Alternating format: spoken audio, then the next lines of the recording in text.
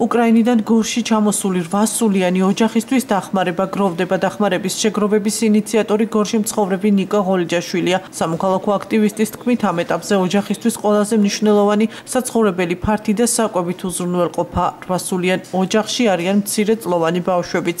ნიკა ღოლიჯაშვილი მოუწოდებს მოქალაქეებს და ბიზნეს სექტორის წარმომადგენლებს და ეხმარონ მსგავს ოჯახებს და ამით სოლიდარობა გამოუცხადონ ომში მყოფ მეგობარ ქვეყანას.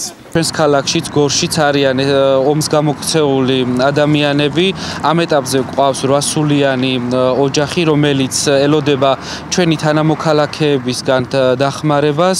ამ ეტაპზე სამოქალაქო აქტივიზმის ფარგლებში მე ავიღე ჩემ თავზე რომ შევაგროვო ამ ეტაპზე პროდუქტ პროდუქტები, ვისაც რა საშუალება აქვს. ამის შესახებ Facebook-ზეც დავწერე ჩემ მეგობრებს უთხოვე რომ გულთან მიიტანონ ეს სიტუაცია და გამოიჩინონ სოლიდარობა უკრაინელი ხალხის მიმართ და ვისაც რისი საშუალება აქვს პროდუქტები ფულადი დახმარება იქნება, პროდუქცია იქნება. ასევე ამ ხალხს აქვს სურვილი რომ ადგილზეც დასაქმდნენ და ანაზღაურებადი სამუშაოც შეასრულონ. სანამ ისინი დაბრუნდებიან თავიანთ ქვეყანაში.